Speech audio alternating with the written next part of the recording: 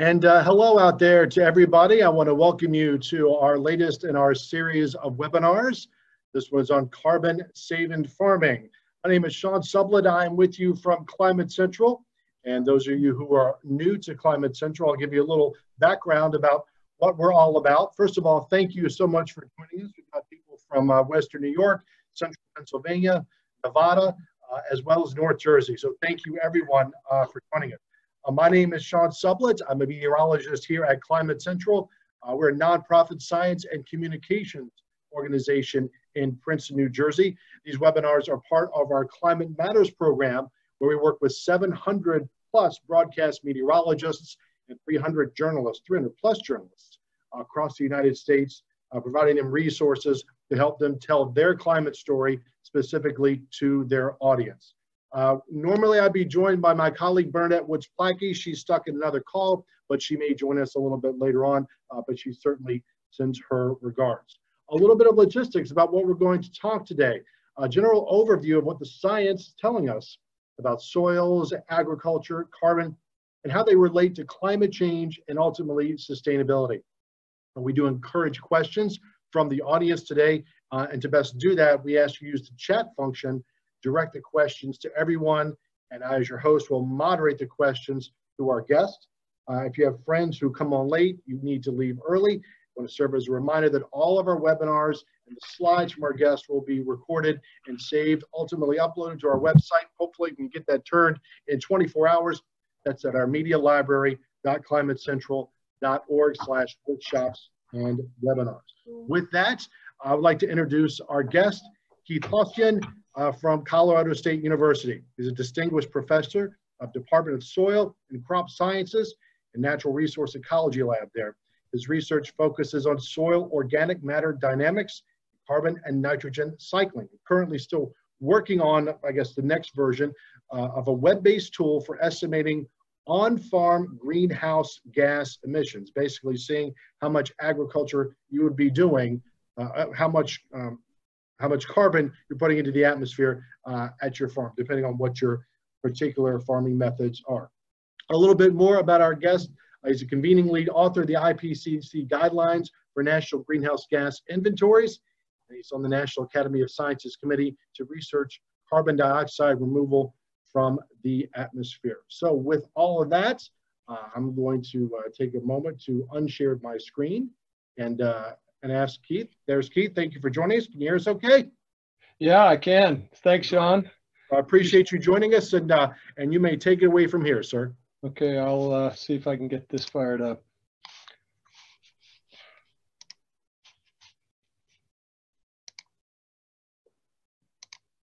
Okay, let me know if you see the slides okay. It looks good. It looks okay. good. Okay, that's great. So first I'd like to thank Sean and, and Climate Central for the opportunity to present the webinar here. Uh, and what I want to do first is, is uh, provide a little bit of the kind of broader context for the, the topic that we're looking at here in terms of, of really two of the major uh, challenges that are uh, currently facing uh, humanity and the planet right now.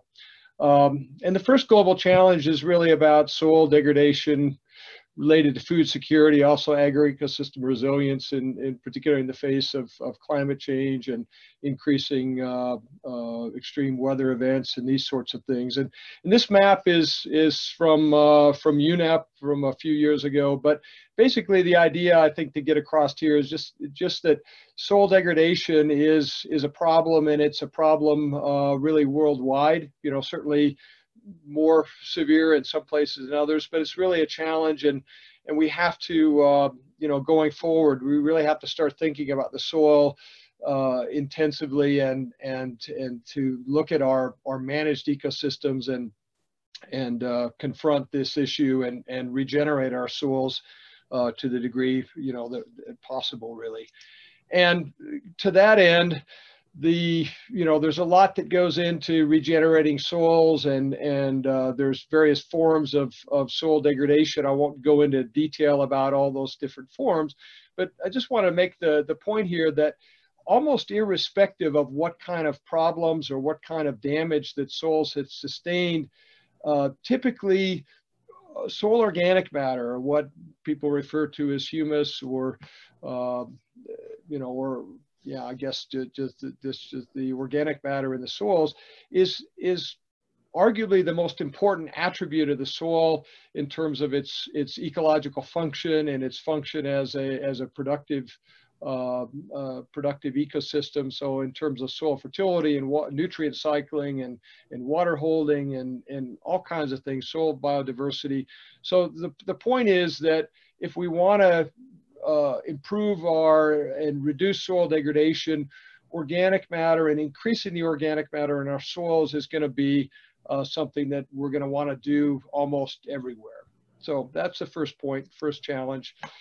The second challenge, certainly, uh, I think uh, familiar to all this audience and to, to, most people by now, is is the issue of climate change and and uh, and greenhouse uh, greenhouse warming from how we've perturbed the atmosphere over the past, you know, particularly the past uh, uh, couple hundred years in, in particular, and in most in particular the last few decades. And this is, uh, you know, a couple of graphs that that uh, are, you know, you've you've probably seen in the literature. Basically, this this one up, over here on the upper right is looking at the emissions trajectories that are pro projected, um, you know, over time. Um, and and uh, sorry about that. Uh, and basically what we want to do is follow this low emission pathway that is that is uh, you know capping out with with atmospheric concentrations of CO2 somewhere you know in the in the mid 400s if you will uh, versus a, a, business as usual or kind of a worst case scenario in which we which uh, uh, concentrations of of, of greenhouse gases really become you know more or less intolerable. Uh, and in order to follow that lower emissions pathway, and if we look over here at this bottom graph, you can see that if we want to uh, stay under two degrees mean net, uh, you know, global global temperature increase, uh, we're going to need to to to stabilize emissions and stabilize concentrations of CO2 in the atmosphere, you know, somewhere in in that lower 400s or mid 400s. Uh, and that's going to be determined by our, our cumulative emissions. And we're already obviously seeing uh, effects of climate change now. They're going to continue uh, to, to, to increase over time.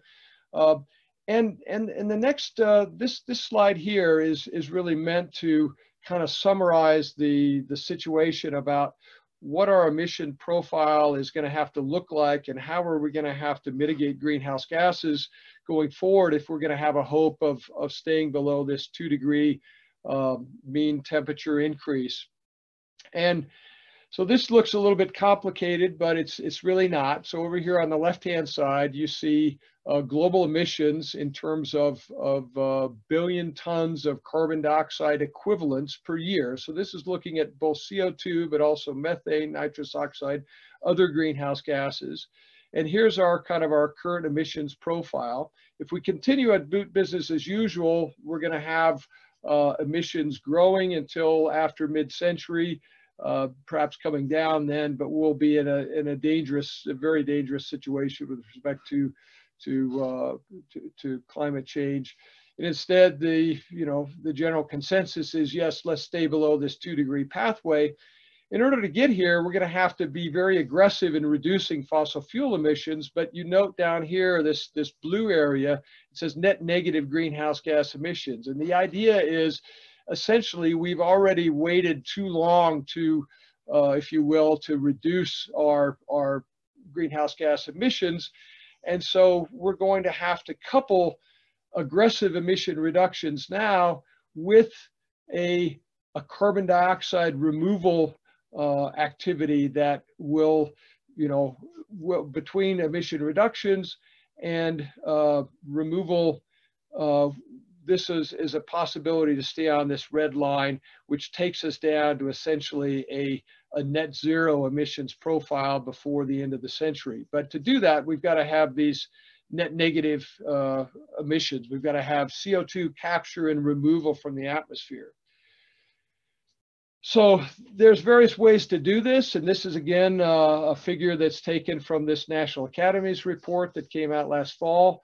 And I won't go into all these different uh, different methods, but some are more engineering centric, direct air capture, for example, or biomass energy with carbon capture and storage. But there's also these natural capital or terrestrial land uh, uh, solutions, including afforestation, uh, reforestation, but also soil carbon here. And the, the thing that I think is exciting about soil carbon as one of many, you know, partial solutions to this problem is that it, uh, it, it, has some real benefits in terms of, of what I mentioned before, also increasing the productivity and the, and the, uh, uh, the, the, the, health of our soils, but also uh, it's it's something that can be done with our land use systems kind of the way they are now. We don't have to convert large areas of land to other kinds of land uses in order to uh, to get this uh, uh the benefits of, of carbon sequestration in, into soils. And also, um, it's, it's something that's relatively cost effective at this time. So, and, and it's technology that to a large extent is ready to go. So let's look a little bit at what kind of options we might uh, be able to, to do to, uh, uh, to be able to, um, um, to do this. And, and first, Joe, just a really quick explanation of, and a kind of a, uh, a picture of what we're talking about when we're talking about soil carbon sequestration. So looking at this figure, it's a real simple kind of a, uh, an ecosystem carbon balance, if you will. So carbon dioxide enters the terrestrial ecosystem through photosynthesis. It goes into the plants part of the plants, uh, you know, in an agro-ecosystem, we remove a lot of the above ground carbon as, as harvested material, but also there's plant residues, roots, uh, non, non-harvested materials that enter the soil. And so we've got, uh, we've got carbon going into this soil organic matter pool, if you will, that's there, but also that pool is being actively utilized as a food source for the soil microorganisms and soil fauna. And so this other arrow that's coming out of this is, you know, is the is the soil respiration. So normally in a native ecosystem, uh, these these two fluxes come into balance, and you approximate a, a, a soil um, a soil organic matter content is more or less at a kind of a steady state. Now, what happened uh, historically as we converted um, as we converted systems to uh, to agriculture from either forests or native prairies and this sort of thing is we've depleted the soil organic matter. So we've we've had less inputs and, and more outputs and we've removed a lot of carbon through the harvest. So we basically are in a situation now in most agricultural systems where the soil organic matter content is is quite a bit below, maybe 30 or 40 or 50% below what it originally was under a native ecosystem environment. So what we're trying to do then is to say, okay, how can we change management to try to rebuild some of those stocks?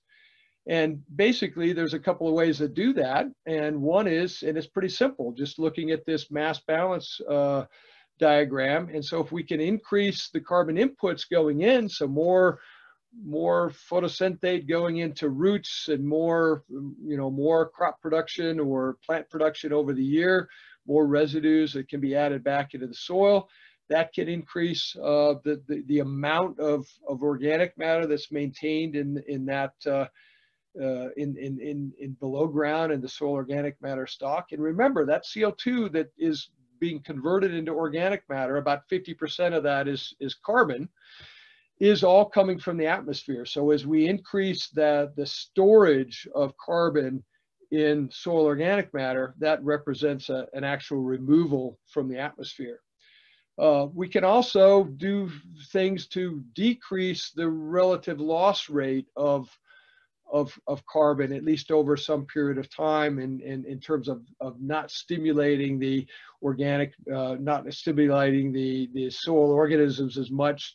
Things like if we reduce our, our tillage intensity, then we, we get less, uh, less microbial activity and, and so we can reduce somewhat the outputs. And so that's, those are the general principles that we're looking at in terms of of, of trying to manipulate that soil carbon balance in our, in our agroecosystems. Okay, so, um, and feel free to jump in if you have any questions along the way. Um, and there's, there's really a couple of classes of, of practices that I would point out that we could do that. And, and one I'll, I'll call sort of best management practices that, that already exist. We know how to do these. They're already deployed in many places, although they are not as widely deployed as they could be. So if we could get more farmers to employ these kinds of practices on more land area, we could increase carbon stocks overall. Then there's another class of, of practices that I'll call frontier technologies. And, and so again, this, this, uh, this kind of overview is uh, stems from this National Academies report that that, uh, that that Sean had mentioned, and and that's actually available on the web if you want to just Google National Academies uh, carbon dioxide removal or negative emissions report, you'll come right to it. Uh, but anyway, the, the idea is that there are frontier technologies, there are things that we could do to our agricultural systems uh, that we're not currently doing because we haven't yet developed some of the technologies. So really we've got things that are in an early state of development or we've got practices that have as of yet some significant technical or economic constraints to, to that, that are constraining their widespread spread adoption, but they could be you know, utilized more uh, to a greater degree in the near future. Hey, Keith, um, John, real yeah, quick. Uh, on the previous slide, when we talk about the, the BMP, uh, best management practices uh, that can be more widely adopted, um, do we have some sense of how widely they are adopted now, um, both domestically and globally, like some kind of percentage? Any, yeah. any kind of figure like that? Sure, sure. Let me, I'll, I'll go to the next slide to just show what those are and then I can comment a little bit on that. Um, um, and so the, you know, here's examples of, and this isn't, this isn't including all of them, but here are some ex examples of existing uh, best management practices for, uh, you know, for improving soil health, sequestering carbon, but also, uh, you know, also, also reducing nutrient losses. And and for the most part these kinds of practices have a multiple set of benefits. And, and just kind of looking at these i'll just kind of walk through really quickly. So we've got our annual crop systems that and this is what most people think in terms of agriculture. That's not only what it is but in a lot of our annual crop systems if you think about it they're in um, you know a lot of times we only have plants in the ground for for a few months a year, right? So we've got um, in in the the Midwest, for example, row crops, corn, soybeans, etc. You know, they're planted in May and harvested maybe in the end of September or October, and the rest of the year the ground is bare. Um, and a lot of times these systems uh, get fairly heavy tillage, a lot of soil disturbance, uh, and a lot of these kind of systems can can actually be made more ecological by, first of all, you know, having a plant present on the ground as much as possible, because that's doing two things. It's capturing more, more, more carbon through photosynthesis during the non cash crop growing season, but it's also preventing erosion. It's, it's, uh, you know, it's preventing nutrient losses. And then if we combine that with reduced tillage systems such as no-till, very often in, in most kinds of, of systems, not everywhere, but in most kind of systems, that reduction in soil disturbance, you know, again, is manipulating that carbon balance towards more inputs, reduced losses, and so you grow the size of that soil organic matter carbon box. Uh, similarly, if we improve our pastures, you know, again, it's about getting more productivity, grazing systems, uh, maybe altering the, the rest period so that the plant recovers from grazing events and and and we do things like you know in, introducing legumes into the pastures so that the, there's more uh, fertility and and not as much nitrogen uh, fertilizer requirements, etc. Maybe we've got some areas this restored grasslands. We know that perennial grasslands have among the highest carbon stocks. And in some cases, we've got land that is either too steep or, or for other reasons that it's not really that suitable for annual crops. Let's put those back into native type ecosystems, perennial systems like grasslands. We can get very high rates of, of carbon accrual and, and uh, you know, and recovery there. So these practices, so again, something like, you know, no-till and cover crops. Right now, I think cover crops in the US is on, you know, something like less than 5% of the total cropland area. Uh, but in, it, it, it's it looks like it's starting to take off now, and there's a number of farmers that are are having really good success with cover, cover crops. No-till has been increasing in many areas. Uh, it's still not the dominant um, tillage system in most areas, although uh, in, in, parts of the country, uh, it's up to, you know, probably, you know, 20, 30, 40% of, of the land area. Um, you know, improved pastures, uh, that's kind of like, well, there are a number of well-managed pastures, but in a lot of cases we can, you know, we can do better. And there's certainly a lot of, of, of suboptimally managed pastures where, where there's, uh, there's room for, for improvement, certainly. So I would say that, you know, in the U.S., but but also you know worldwide, as you look around, we don't currently you know practice uh, to a great extent the what we could do, what we know is is effective, and so there's definitely room to grow.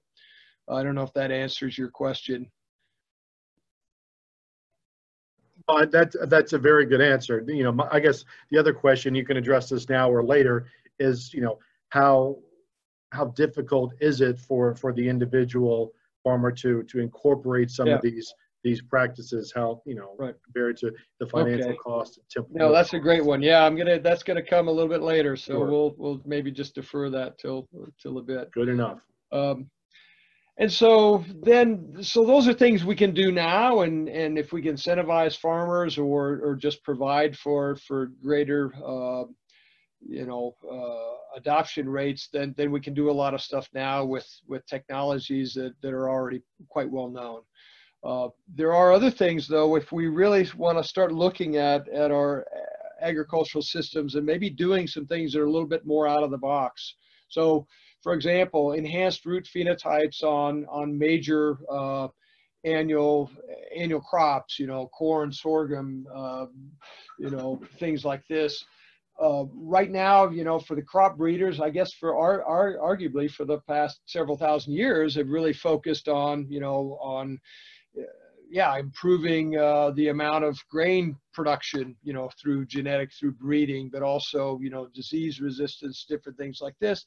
And we haven't really turned loose, you know, crop breeders and stuff to say, hey, can we do some things to try to improve the the roots from the standpoint of of having more carbon allocation, more root mass, uh, but also deeper roots. And one of the things as you as you get as you add carbon through root inputs deeper in the soil, uh, the, the rate of biological activity in terms of microbial activity and, and decomposition processes tends to be less as you go deeper into the soil so that we know that, that um, we can increase the, the residence time, if you will, of organic carbon uh, more at depth as opposed to the surface soil. So there's there's a way in which we can enhance carbon storage through kind of looking at at, at root structures on on conventional crops that we grow now uh, and making them so that they uh,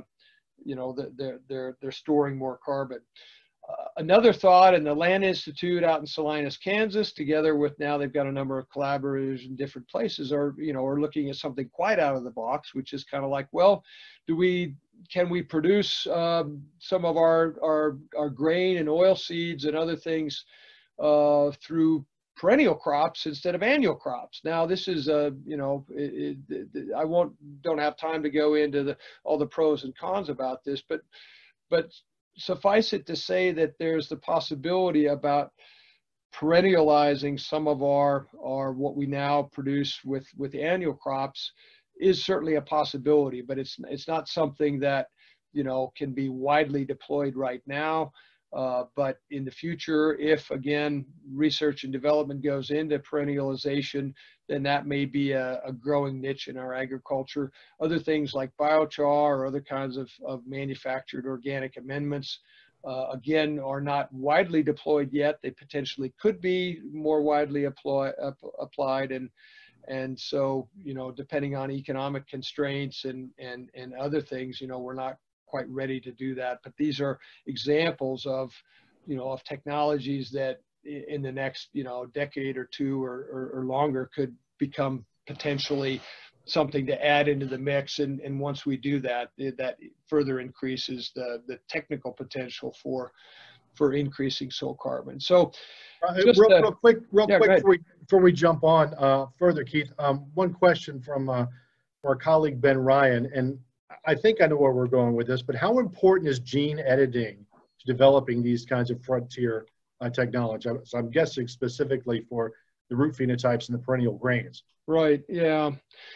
Um, that's a good question. It's I think it's a it's it's it's really out of my background. I'm I'm not you know enough of a geneticist to, I'm not a, any kind of geneticist in fact, but but to, to to really know that. But my sense is that that's a it's in in terms of increasing. Um, you know the the cycle uh, or or uh, sorry reducing the the uh, you know, the cycle of, of crop development, uh, those kinds of, of uh, you know, of, of, of, gene editing and, and, and uh, you know, other kinds of more modern uh, genomic uh, uh, manipulations and stuff like that certainly offer, um, you know, opportunities to accelerate this process.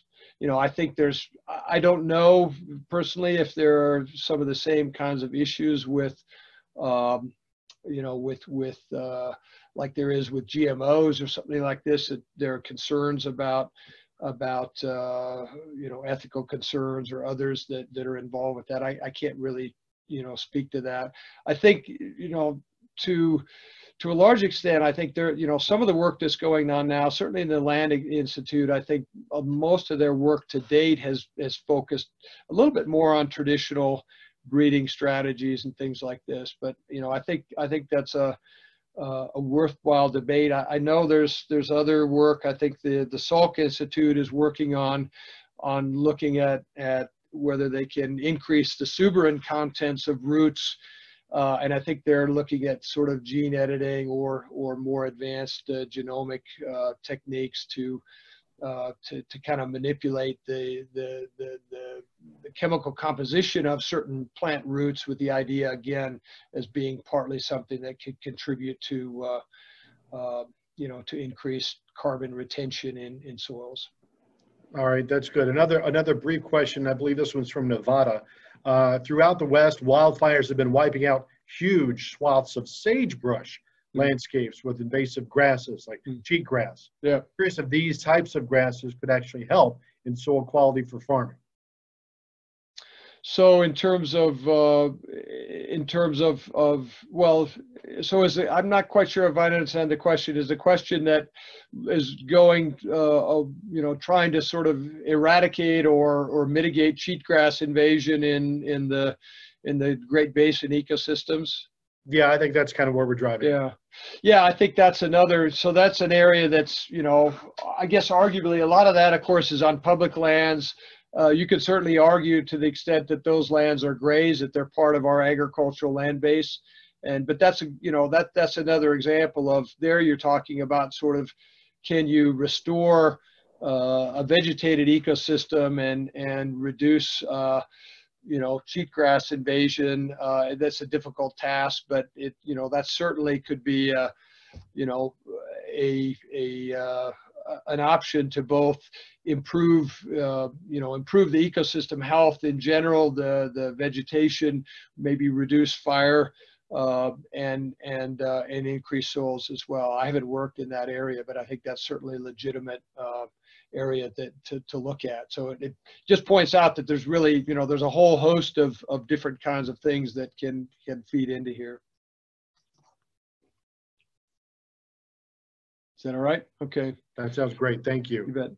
Okay, so then, uh, so looking at these conventional practices and the frontier techniques, so you know, there's there's some ideas that would that that have been in the literature over the last really 20 years that have have tried to come up with estimates of you know what's the what's the technical potential? So if we really did whatever was needed to get widespread adoption of these kinds of of practices you know how much would that amount to with respect to carbon dioxide removals if you will? And so this is looks like a little bit of a com you know of of a, of a complicated uh, you know time series graph but it's really not. So the, each of these columns uh, are, are estimate you know published uh, or, or represent published estimates of of uh, of, of net you know greenhouse gas reductions and, and carbon uptake by different you know globally. Uh, and basically, to, it, it what it, it comes to is that you know the and, and the bars kind of represent the range that were reported in the in the uh, in the various papers. But what I would do is if we look broadly at agriculture in general, sort of including both cropland but also grassland, so these kind of green uh, green bars, and you can basically say somewhere on the order to two to five gigatons, or and a gigaton of CO2 is is a billion tons of CO2 per year. That's kind of the range that a lot of these uh, studies come into.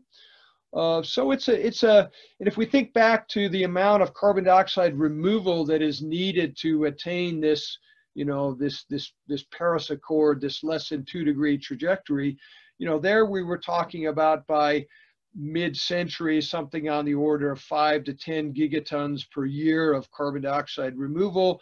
By end of the century, we're looking at, you know, maybe 10 to 15 or something like this. So this would point out to my mind, it's like, okay, soil carbon sequestration can certainly not do it all, but it can do enough that it matters. It can do, you know, perhaps 10, 15, 20%, uh, 25% even uh, potentially of this carbon dioxide removal, particularly the more near term, the by mid-century. Uh, this one that sticks up was a paper that I had with colleagues in, in Nature a couple years ago, and that was one in which we also included estimates if these frontier technologies that I talked about before were more widely applied, we might be, you know, uh, quite a bit higher than that. But this again, the point I would make here is the potential is significant, so it's enough to matter. But again, what that potential translates to is is very uncertain because it's really going to depend on on and this is what uh, what Sean was mentioning a minute ago. How how wide is the adoption of these technologies going to be, and how do we make it so that that uh, you know that that happens? And so I want to finish off here talking a little bit about that that issue because really it's like we can have all the technical potential in the world, but we've got to have it implemented. We've got to effectively, if we really want to make this happen at scale, we have to think about that we're going to have managed agroecosystems which will look fundamentally different than they do now. They're going to be transformed. They're going to be radically better in terms of their ecological performance. And can we do it? And I think the answer is is yes, but it's going to take a lot to do that. And the main thing that you know the point here is you know we're really going to have to be able to incentivize farmers and ranchers to adopt these practices i i feel like in many cases that once they're adopted there's a good chance that in many cases they are more profitable, more uh, more productive on their own, so that they will be maintained over time. But of course, farmers are risk averse, and they are often uh, working on very thin margins. Uh, there's you can imagine that if you change your system, uh, it may take you a while to figure it out. You may have to have some capital investment. You may have to have purchase some new inputs, etc. So can can society Uh, you know, provide for, you know, reducing that risk through various ways? You know, the answer is yes, and there are things that are going on now. They're not necessarily as, as widespread as they could be, but certainly government subsidies in, in most of the developing countries in the US, in, in Canada and Europe, a certain amount of the subsidies that go in to agriculture from, you know, from taxpayers, if you will, you know, is directed towards conservation practice adoption. And so that is certainly uh, a way in which we've we've had some improvements that have been happening, uh, you know, in part due to, you know, uh, government programs, et cetera. Uh, carbon finance is an area that's that's practically growing. You know, our farmers producing ecosystem services that are valued by society as a whole. So can farmers, in addition to producing grain, can they, if you will, sell carbon offsets? Uh, it's a, certainly a nascent market, but it's and it's it's been around for for a number of years, but it's not you know it's certainly not gone to scale. I would say the area that is perhaps getting most attention now recently is this area of what I'll call low carbon supply chains. So companies that want to incentivize their growers to uh, to produce low carbon products. And for most agriculturally sourced products, if we're talking about, you know, uh, fibers, wool, cotton, if we're talking about foodstuffs, a huge amount, so probably greater than 50 or 60 or sometimes even 70% of the total greenhouse gas footprint of that finished product. So your, your box of cereal or your wool cap or whatever it might be are due to emissions that are occurring within the farm gate. So if we can improve the practices there, that's where the greatest potential for reducing the environmental footprint of that product is. Um, so we've basically got this policies, the, the policy type of solutions are out there. They're not maybe as what, you know, they're not yet widely implemented to scale. But the point I want to make here really, and this gets to the last part of it, which is really, you know, what's the role of, of science and research in here? And, and I, I would say that any of these policies, whether they're market-based, government, et cetera, they really need reliable metrics. So we need to be able to quantify and verify the performance of these systems in terms of carbon storage or greenhouse gas reductions. And it's a it's a, actually a difficult job for a couple of reasons. And one is that these, as opposed to our industrial sources, you know, agricultural sources and sinks and, and removals, if you will, of greenhouse gases, they're dispersed across the landscape. They're non-point source. They're temporally, spatially variable. Uh, and there's a lot of things that are controlling those those different processes. These are biogenic processes that that humans through their activities are are accelerating or accentuating. And just to give you an idea so here's a cartoon that's out of the IPCC but this gives you an idea. This is like the land use sector and what's happening with greenhouse gases. And so you can just get a flavor here from all the different activities, you know, whether you're growing livestock, you're adding fertilizer, the plants you grow, uh, you know, the, all the other stuff, there's multiple gases, there's, there's, you know, all kinds of things that are controlling those systems. So the, the point is that, that we can, you know, we can measure greenhouse gas fluxes, we can measure soil carbon change, you know, by taking samples and doing analysis. But in most cases, those, you know, to do it well really requires a, a, little bit more of a kind of a, I'll call it a research environment or at least skilled people. It's not something that farmers are going to do on their own. Okay. They're not going to measure their N2O fluxes, you know, while they're, when they're done, uh, you know, uh, planting their crop or something like that. So in, in uh, that, in that vein, another question from our, our colleague, Ben, he is wondering, what are some key areas, meaning geographic areas, uh, which such carbon finance uh, for farmers is being implemented, either you know globally or or domestically. Yeah, so right, so I would say that uh, that right now carbon finance for soils is is pretty limited. There are some projects that are particularly internationally where people are are looking at things like avoided conversion of native ecosystems to cultivated systems. Some I know some projects in Africa and other places where uh, it's relatively cost effective to do some of the measurement and, and monitoring kinds of activities. And, and so there are a few in the voluntary carbon market space. There are some, some projects that involve soil carbon, not huge. There's a, there's a company now by the name of Nori, which is trying to build a kind of a blockchain based uh, uh, carbon offset marketplace, if you will, that, that is designed to kind of lower the transaction costs and, and, and maybe bring more uh, more of this to scale. Uh, but I would say in the carbon offset space, it's you know it's still pretty early days. It's not really uh, very large. It may grow. Uh, right now, I think the the thing that I see that is is most dif different now is that there are many many companies now, particularly companies that have you know agricultural source products, and that's you know a lot of the Fortune 500 companies if you start thinking about it. Um, there there's a lot of of of, of interest uh, a lot of it i think is is quite, actually quite genuine interest in lowering the environmental footprint of their products and being able to market that to a new generation of consumers and also to meet kind of corporate targets for uh, you know for climate performance and so that's probably where the the the, the space is moving the most rapidly right now all right, good. Thank you. Um, so anyway, back to so so in any case, and I think all of these market and and non-market mechanisms are are going to be in play in the future, and I and I think that's probably a good thing that there's a diversity of ways that that that incentives can can can work in the uh, you know in the system.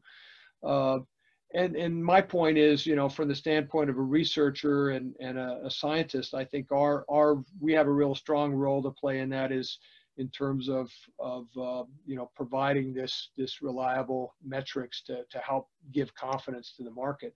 And I think to do that, you know, we like the con the concept that my research group and a number of others I think sort of adhere to is we really need a a uh, you know we need a, a system of measurement, monitoring, and verification that involves both measurement and modeling and remote sensing. And I want to just kind of finish off by sort of giving a, a little bit of a view of what this looks like. And again, this is a, a diagram that's out of this National Academies uh, uh, research uh, uh report. And there's also uh, a recent carbon management uh, paper, the, the journal Carbon Management that, that a group of us published in that, that talks about this.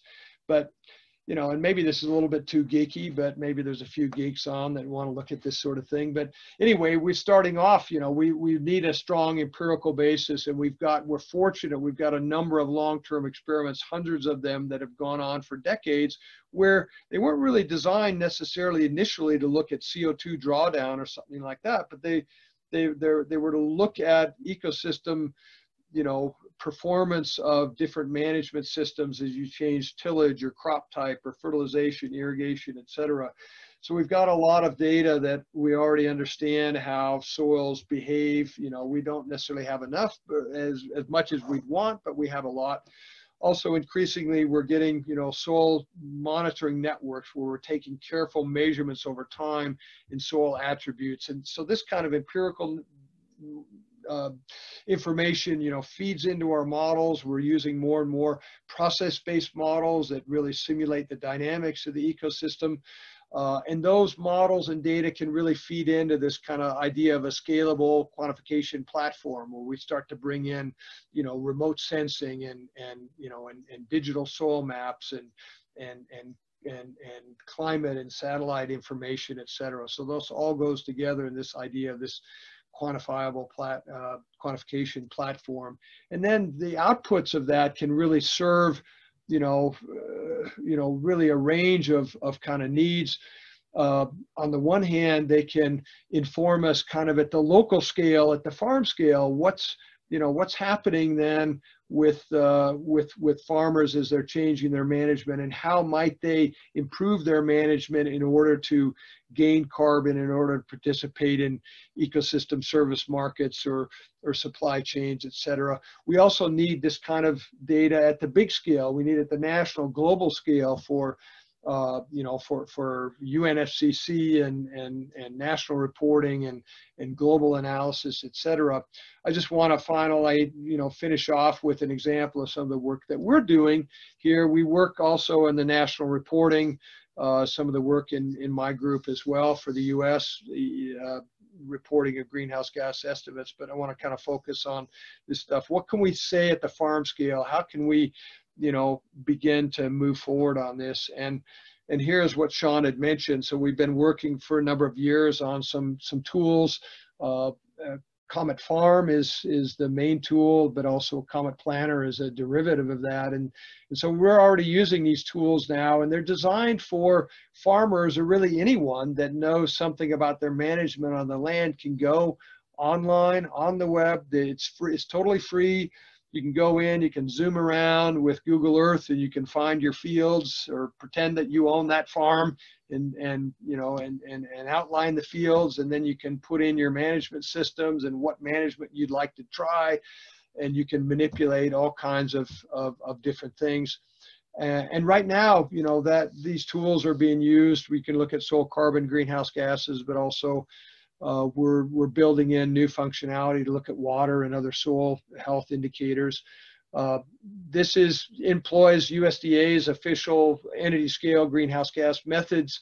It's used a lot then in, in you know at the federal level for the National Resource Conservation Service and some of their conservation pro products, but we or projects or programs. We're also working with you know state governments and and and companies and and I mentioned before carbon carbon finance, etc. Uh, Comet Planner is kind of a simple sort of a three-click tool that actually derives from Comet Farm. It doesn't give you the you know the most accurate estimates that you would have at your farm. It rather gives you kind of a more regionalized estimate of of greenhouse gas emissions if you if you adopt certain conservation practices. But that tool now is, is used in California as part of the Healthy Soils Initiative, and we're starting to work with other state governments that are in the U.S. Climate Alliance and uh, and states that are enacting uh, you know soils uh, soil mitigation programs and healthy soils things so it's it's you know there's there's getting more and more uptake of some of these tools so that brings me to final thoughts, just really quickly. Um, I personally believe, you know, obviously agriculture is is is extremely important in terms of of keeping us all alive, and and and that's a major uh, challenge going forward to deal with, you know, food security, uh, you know, in the face of increasing demand, but also, you know, climate impacts and and things of this nature. But uh, I really think there's a, there's an opportunity that agriculture can do more than just that. There's an opportunity to uh, essentially change in a fundamental way some of our systems and how they look and how they perform to help stabilize the climate. And and I think that that's possible, but you know it's it, we're going to have an agriculture that's going to look very different in the future, hopefully, and and that'll be good for a whole set of reasons. Uh, and so I have a very optimistic uh, vision of that, and and and and I think it's achievable. Uh, and and you know that's where we want to move to if we can. Uh, to do that though, we're we're going to need to inform. We're going to need to incentivize farmers. It's you know there's a big lift here. It's a you know this is a uh, uh, a huge undertaking, I, I, think, but just like dealing with climate change broadly through society, you know, we, we need to transform how we do things. And, and if we can do that, we'll be so much better off uh, at the other end. Um, and in terms of, you know, from a researcher's perspective, I, I really feel like the, the place where you know, where myself and, and my colleagues and others can contribute the most right now is, or a, a big part of it is is really in in developing the you know the measurement and monitoring verification kind of systems that will allow if you will give enough co confidence to the markets that will you know drive investment and uh, uh, you know and, and help drive this transformation of our of our managed systems to you know to this this better state. So that's all i had to present here. I'd be happy to take any additional questions Pete, that's great. There's a there's a lot to to digest for those of us who, who are not you know deeply uh, in this part of the science. Being an atmospheric uh, scientist, meteorologist, uh, this is fascinating and it's great stuff. It is a lot to process for those of us who who aren't in this uh, on a regular basis. I think closing thoughts are are fabulous. Uh, and we did have one kind of, and it's a broader question if, if, if you're willing to take this on, uh, given your expertise. but question goes this way. Uh, what's the best case scenario in your mind? How much change can be made in farming? How much impact would that have on the carbon balance? So that's kind of a, a very broad yeah. question, but But you know, I guess what kind of scenario could you Yeah. realistically or pragmatically construct where we, we start to see some of this stuff come to pass? Right. No, that's a great question. And um, so there's a couple of things. You know, one one is in terms of you know, do we want to have a a kind of a, uh, you know, what's what's a reasonable limit that you could put out there? And it's it's kind of an interesting one. There was a a paper that came out a couple of years ago by uh, uh, Jonathan Sanderman, and he and they did some estimates that historically, through conversion of native ecosystems, uh, on the order of 500 billion tons of CO2 has in effect been lost from our, our soils globally. So yeah, we're going to regain that all back. No, we're not going to get that. Uh, but we're, um, uh, you know, maybe, maybe if we can get, you know, half or a third of that. And so we go back to this idea of, you know, five or six billion tons of, of carbon per year over a few decades. You know, that, that would be a substantial, uh, that would be a substantial contribution to this total CO2 drawdown that would be needed. So I think that's, you know, that's a big takeaway there.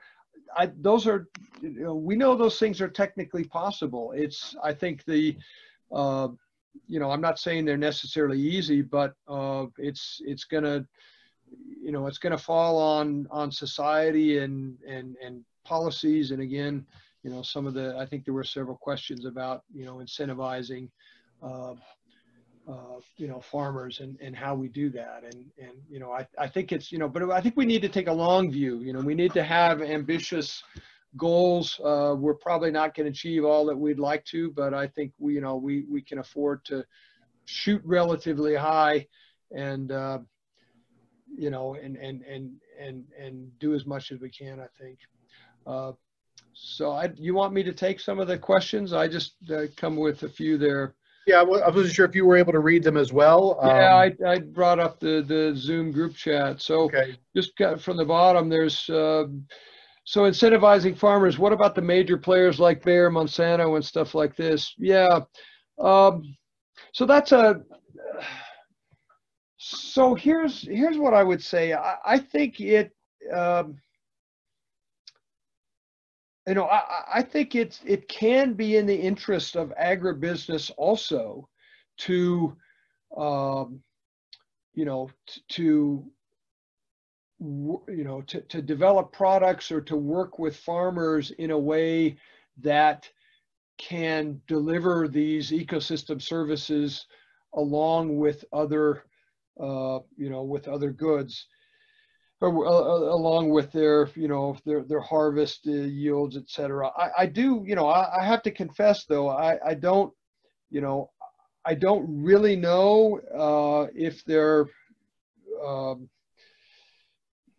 you know, if if if there are, um, you know, if if big agribusiness is necessarily conducive to sort of uh, maximum ecological agriculture. You know, I don't know. I I, I want to be. I don't want to prejudge. I think uh, maybe you know maybe it's not, but uh, you know, I, yeah, I, I don't know. I I think there's. Uh, and I think probably our agricultural industry will also transform as a result of our transformation of systems. But you know, is there a place for uh, you know for private enterprise and and uh, you know and agriculture uh, agricultural business you know in this in this space? I, I think there is clearly, and I think you know we're we're not going to achieve uh, these kind of results unless we can effectively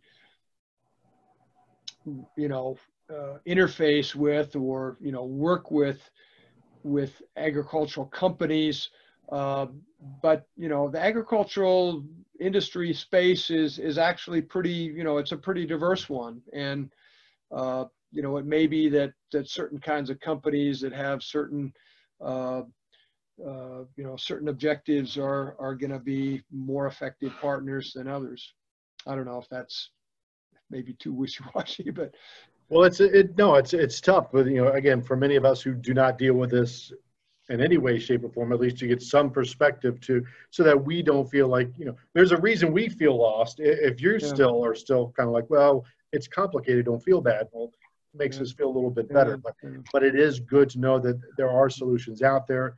There is some theoretically low hanging fruit that we can begin yeah. to implement. If if you would agree with that, yeah. Uh, there's still a lot of work to be done.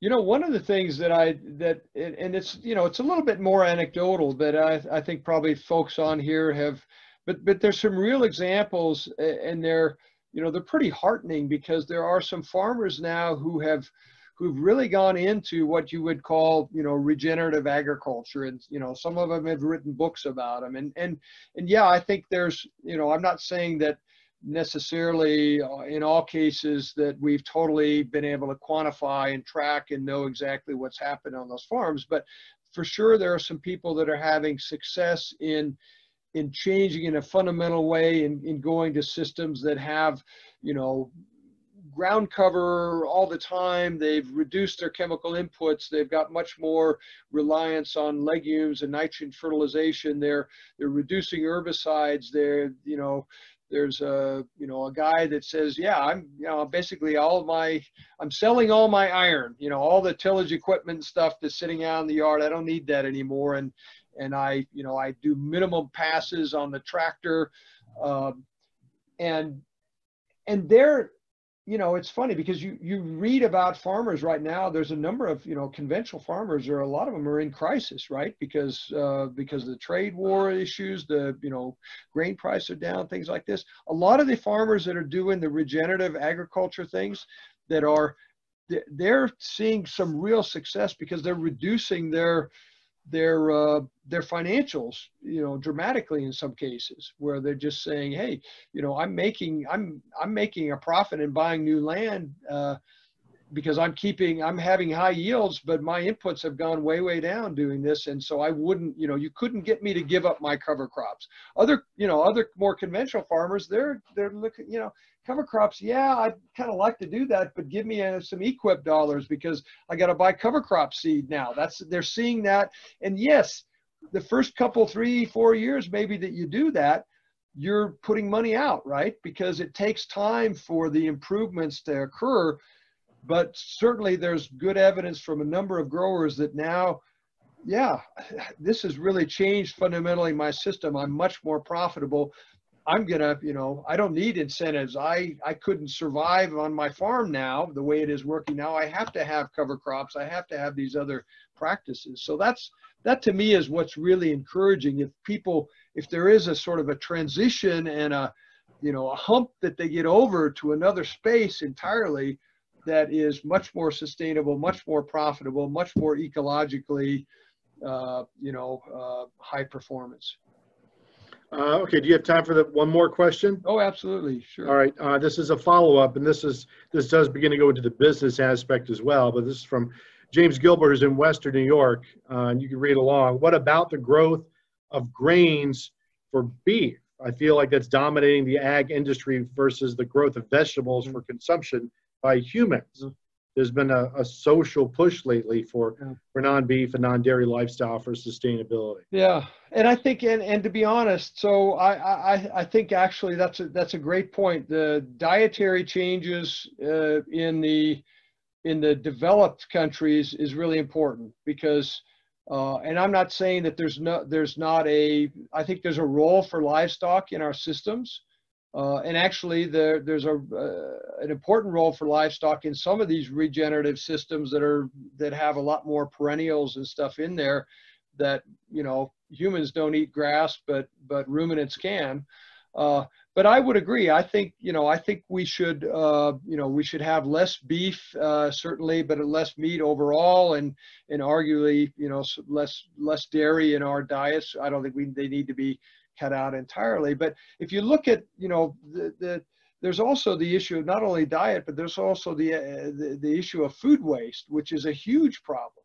In developing countries, basically 50% roughly of what we produce ends up, eh, you know, in the landfill, if you will, because it's not consumed. It's, it's, we, there's very few losses to the table, but then essentially we eat roughly half of the food that goes that hits the table.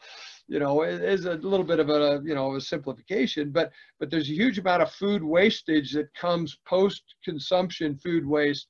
If you go to the developing countries, it's actually 50% of the food that's produced on the farm, roughly, never gets to the table because of harvest losses, because of poor storage and rats and, and infestations that, that, that take away the, the grain and, and harvest losses and things like this. So there's tremendous possibility by which we could, you know, meet growing demands and actually, if we can do it right, to you know, improve diets. People will be healthier. They use less food that is, you know, less carbon intensive. We can reduce food waste both, you know, globally wherever it's occurring, and that would allow us to to not have to convert more land, and maybe we could take a lot of marginal cropland and put it back into native grasses and forests and things like this. So I think, you know, there's certainly a, you know, a potential for some really good outcomes. Now, I'm not, you know, going to say that that's, you know, that's not necessarily going to be easy to, you know, we're going to have to make it happen, and people are going to have to work hard. We're going to have to have, you know, uh, a major effort to to accomplish this. But it's, I think there's there's reason for optimism. Well, we like to have reason for optimism, so that's always good. Uh, Keith, we're just past the top of the order, so I'm going to let you, on top of the hour, so I'm going to let you go. Uh, but thank you immensely for uh, spending time with us and, and prepping and, and, answering the questions and you know what's increasingly going to become more important as we go forward in time. Yeah, that's great. Well, my my pleasure. I really appreciate the opportunity to speak to you all today. Terrific, terrific. Uh, so yeah, again, once again, uh, thank you so very much. Uh, right before we wrap, just want to share a couple other uh, little things. Um, again, to remind if you came in late, uh, we'll have everything posted up on our website, hopefully within about 24 hours. Keith's slides, and again, the recording of the presentation. That'll be at our media library, climatecentral.org. Um, their CSU Soil and Crop Sciences. Uh, you can go to soilcrop.agsci.colostate.edu. And if you have questions for me later, uh, if there's something you missed, you need to see, if you forget where to get the presentation, just email me at ssublett at climatecentral.org. And uh, save the date. I've been talking with some other colleagues in DC. Uh, those of you who've ever heard of climate models, because we know that's a big thing, uh, next generation of climate models, nicknamed CMIP6, they're coming down the pike. So we're going to discuss discuss those here uh, in a few weeks um, with our friend Claudia Tebaldi uh, in DC, the next generation of climate models. also regarding the soils, um, tomorrow's Climate Matters comes out, uh, and that kind of dovetails on today's webinar, looking more at, at specific uh, figures to go along with soil carbon and, uh, and drawdown. So with that, I want to say thanks again to everybody. Thanks to Keith. And uh, everybody have a great rest of your day. And we look forward to seeing you again here in a few weeks, uh, first week of December. Have a great rest of the day and have a happy and safe Thanksgiving. Take care, everyone. Bye-bye.